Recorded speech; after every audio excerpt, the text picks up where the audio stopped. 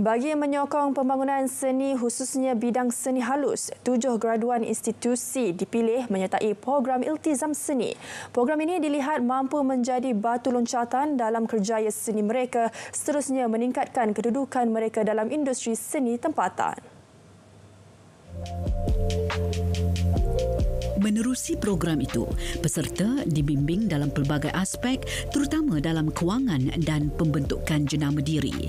Sehubungan itu, Iltizam Seni berkolaborasi bersama Galeri Putih memberi peluang kepada para peserta untuk menampilkan karya masing-masing kepada artis berpengalaman.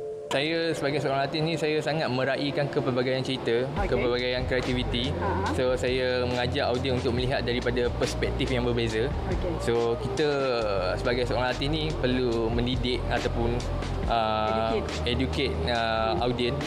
So mengajak sudut pandang yang diorang tidak pernah lihat sebelum ni. Teknik yang saya dapat adalah sewaktu PKP hmm. di mana saya mengalami kekangan material uh-huh. dan saya terpaksa mengolah sendiri material yang saya boleh temui di hmm. persekitaran rumah. Hmm. So dekat situ saya eksperimen dengan segala jenis medium seperti pasir, tanah dan saya gabungkan menjadi satu compound dan saya melihat benda tu menarik untuk diketengahkan. Setelah pameran Iltizam Seni berakhir, karya-karya seni tersebut akan dikembalikan kepada seniman dan kepada pembeli yang membuat tambahan.